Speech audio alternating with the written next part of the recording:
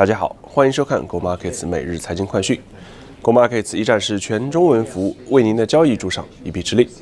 今天是十一月四号，星期一，我是 Mike。首先，我们来回顾一下上周五的市场情况。澳洲股市呢，在上周五虽然有上涨百分之零点一，但是由于上周全周累计呢，澳洲股市是下跌大约是七十点左右，因此澳洲股市最终在上周五依然是收盘在六千六百七十点附近，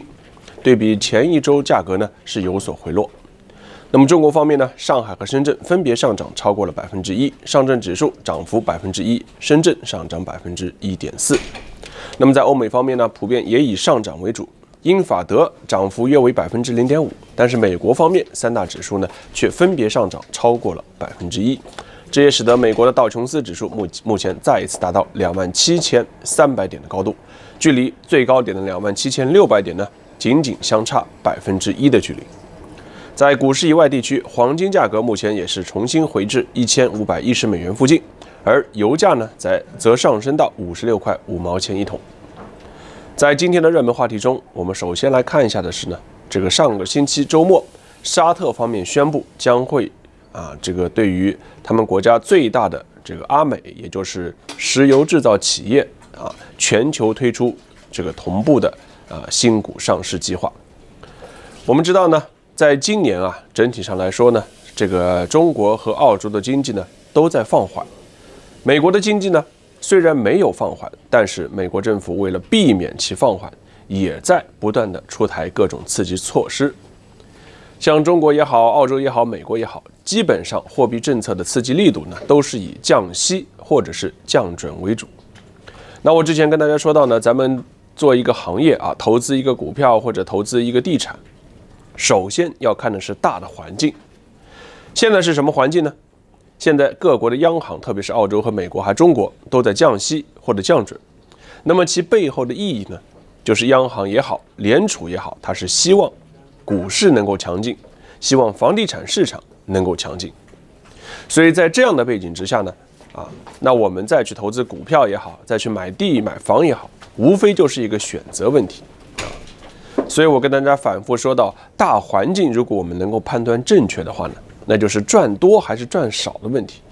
那如果连大的环境都判断错了，那就是亏，无非是亏多还是亏少。那么再回到这个石油问题上，为什么油价在今年整体上来说都反反复复没有太大起色呢？一个主要的原因，其一就是由于全球经济的放缓，但是更多的原因则是来自于供求关系上的问题。我们知道呢，这个目前呢。全世界啊，产油第一产油第一大国啊，大家猜一猜，已经不是沙特，也不是俄罗斯，也不是阿联酋，而是呢，大家意想不到的是美国，目前是全球石油产量第一大国。那么，为什么美国有这么多的石油呢？其实它也是从最近几年开始日益频繁的这个叫做页岩油开始爆发了。在前几年，我们还记得沙特为了打压美国的页岩油，不惜把油价压至三十美元以下一桶。当时美国页岩油公司大量的破产。但是随着油价重新回升至现在的四十五、十六十美元附近，美国页岩油公司再一次这个我们说叫啊，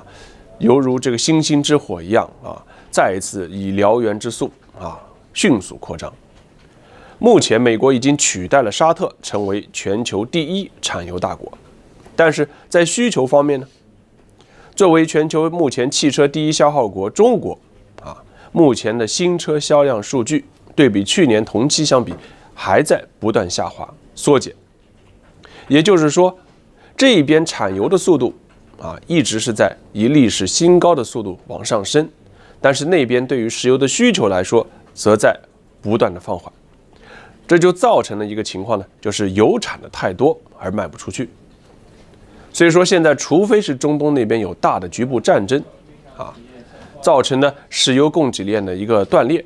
要不然在短期内，在我看来，油价很难回升至之前的七十或者是八十美元。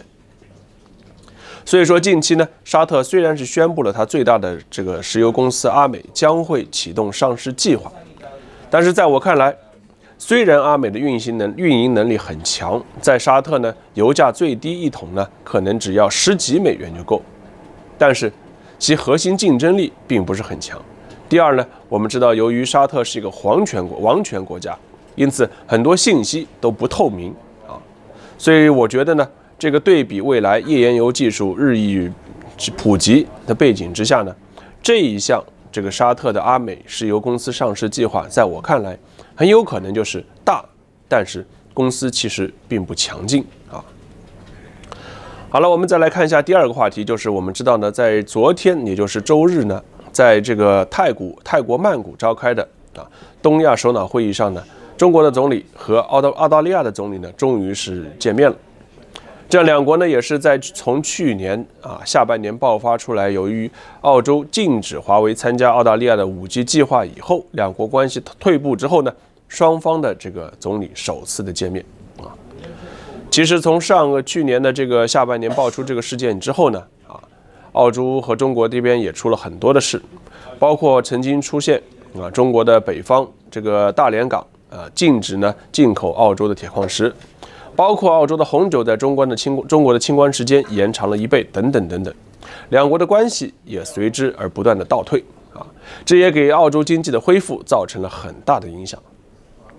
那我们不得不说，虽然说澳现任现任的总理莫里森呢，他是属于是自由党一派。但是他其实本人还是比较明是非的啊，他在多个场合不断的重复呢，澳大利亚作为独立主权国家，并不会在美国和中国中中做出选择，他会自己自由的来做出决定啊，所以这其实呢也是一个官方的表态，他是非常聪明的，希望呢能够维护好和中国的关系。那么根据从昨天新华社发布的通讯稿来说的话呢。这个澳洲总理还是希望跟中国关系能够缓和，同时呢，中国能够继续开放和合作其其他的一些相关领域啊。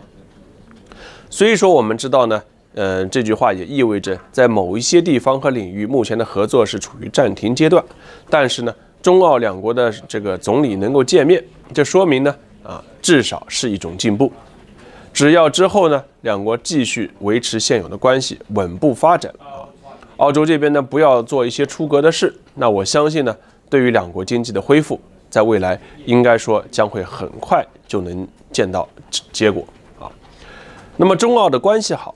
对于中国的经济，对于澳洲经济，对于我们生活在澳洲的华人来说都是好的啊。所以我们也希望呢，这个中澳的关系能够越来越好，也使得这侧从侧面呢帮助很多啊这个以中国市场为主的公司，特别是澳洲的公司。在未来能够进一步的扩大其中国市场啊。那么以上呢就是我们本期 Go Markets 每日财经快讯的内容。各位如果希望参与我们在墨尔本十一月二十四日的大型线下活动，可以通过点击视频下方的内容介绍链接参与报名。那么感谢您的收看，我们下期节目再见。